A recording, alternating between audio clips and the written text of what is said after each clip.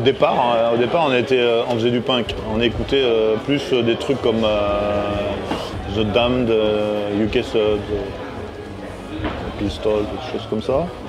Et en fait, c'est vraiment ces groupes-là qui m'ont amené à, vouloir jouer de la musique, à m'en brancher.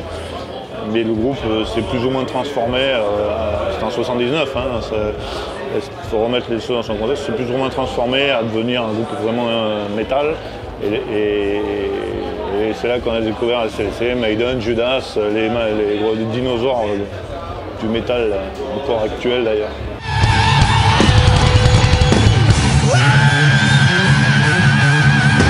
Là, on a terminé une grosse saison qui a duré deux ans de, tournées surtout à l'étranger. On a, on a tourné avec Sabaton, c'était une grosse tournée européenne avec Sabaton qui était super. On a fait beaucoup de festivals, euh, on a fait des festivals euh, en Allemagne, on a fait Metal Fest euh, en Tchéquie, on a fait en Hongrie, on a fait beaucoup de. On était en Lituanie, on est allé deux fois en Israël.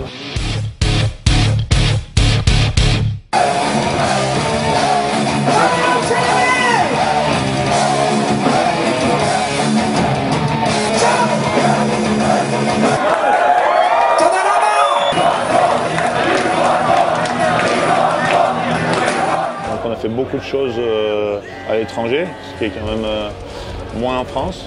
On a, même- on a fait quelques festivals importants en France, mais pas, pas encore à notre- assez à notre goût. On a beaucoup tourné à l'étranger. On fait partie de ces groupes français qui font plus de choses à l'étranger. Euh, et donc on a arrêté là il n'y a, a pas très longtemps la saison on va dire de Insurrection, la promo d'Insurrection avec un super festival au PPM Fest en Belgique avec Hammerfall, Europe, euh, des groupes comme ça, Ed Guy. Et donc euh, là on, est en train de faire les pré-maquettages du nouvel album. On a commencé à travailler sur, euh, sur euh, des compositions de titres qui seront euh, qui on est en- les, guitaristes sont en train de, de travailler les prémices on va dire de, l'enregistrement et on va en- enregistrer d'ici la fin d'année donc là ça va être une sortie printemps début de printemps 2012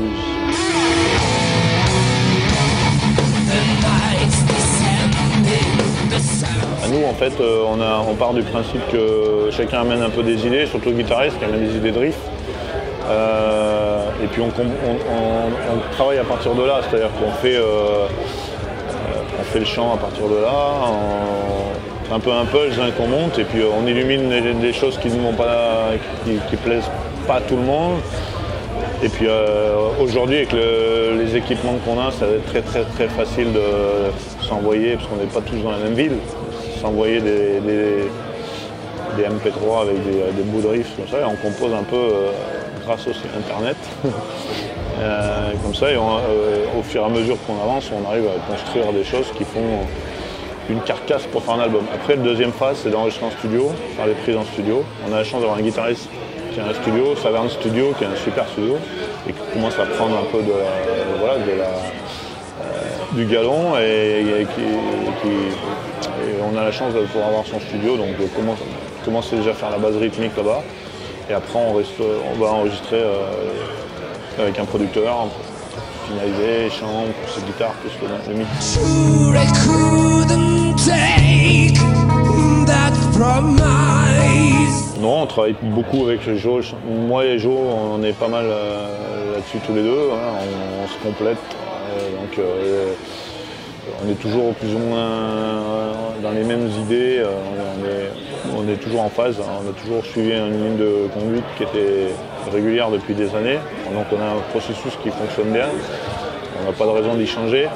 Après, c'est l'inspiration du moment qui fait que euh, on a tel ou tel thème, on parle de tel ou tel thème.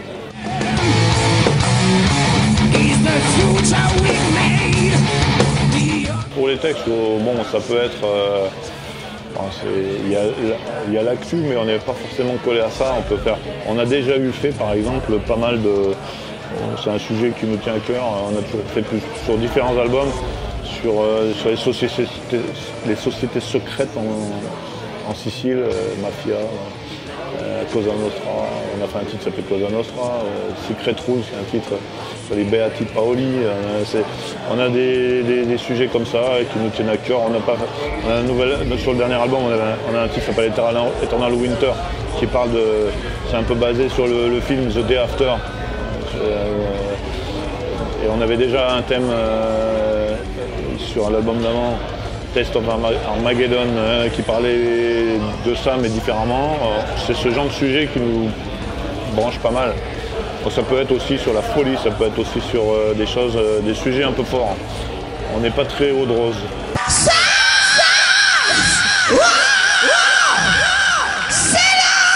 Je suis pas très littérature, un peu plus cinéma, mais c'est vrai que euh, j'aime bien moi tout ce qui est grosse production. Enfin, bah, on parlait de The Day After, c'est le genre de film qui m'inspire pour écrire. Mais ça peut être aussi un, des Hannibal, des choses euh, un peu. euh, tout ce qui est gros. gros, gros produit euh, bien métal. Desperation or just a progress. Moi, je gère société de presse spécialisée, donc euh, j'ai beaucoup, beaucoup, beaucoup de travail. Et donc, euh, le temps est vite occupé.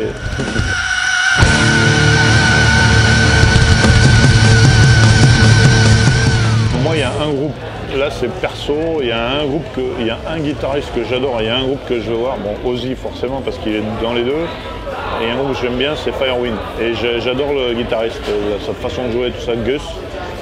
Un groupe que je veux voir. Je, je- je bon, j'ai pas vraiment le temps de tout voir, je n'aurai pas le temps euh, personnellement ici, dessus, mais c'est vrai que Gus, euh, c'est un, guitariste qui me. Gus G.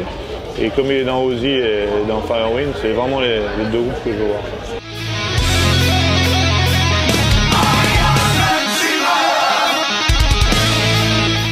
Salut, c'est Yves euh, Bastille Nightmare et vous écoutez arsenic.tv et restez branchés là-dessus.